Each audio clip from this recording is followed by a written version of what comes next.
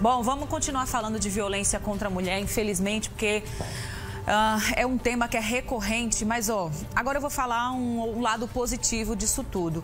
É um projeto de lei que foi aprovado no Senado que prevê medidas mais duras para quem cometer violência doméstica. Aliás, até eu estava comentando aqui de, entre esses casos que a gente precisava cobrar, né, dos nossos parlamentares, que são eles que re, é, é, é, produzem né, as nossas leis, para que eles pudessem enrijecer ainda mais as leis pois nós já temos isso acontecendo. Vamos ver a reportagem.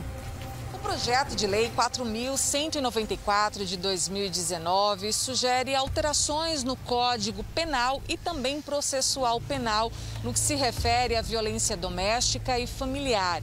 Esse projeto de lei foi aprovado no Senado Federal. Ele traz algumas sugestões, como a alteração do Código Penal da nomenclatura violência doméstica para lesão resultante de violência doméstica e familiar. Além disso, o projeto propõe que as medidas cautelares de urgência, como prisão preventiva, possam ser concedidas de maneira imediata, sem a necessidade de audiência entre as partes.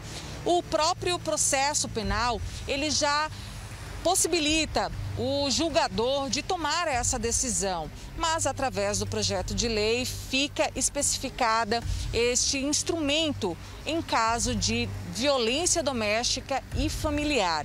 O relator deste texto é o senador veneziano Vital do Rego, que falou da importância deste projeto de lei. Esse projeto, ele traz previsões mais fortes, mais incisivas, legais. Eu penso que é um projeto importante, um projeto que já acolheu né, a, os apoios das lideranças, particularmente a liderança da bancada feminina, e quarta-feira devemos estar a aprová-lo.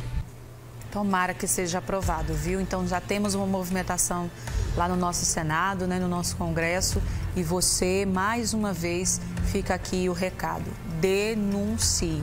Se é você que sofre violência ou se é você que sabe de alguma mulher que está sofrendo violência, denuncie.